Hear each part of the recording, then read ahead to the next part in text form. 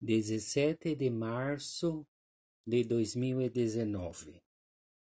Se viva estivesse, Elis Regina estaria completando setenta e quatro anos. Uma grande cantora e uma grande perda que até hoje o Brasil não esquece. E também Hoje, 17 de março de 2019,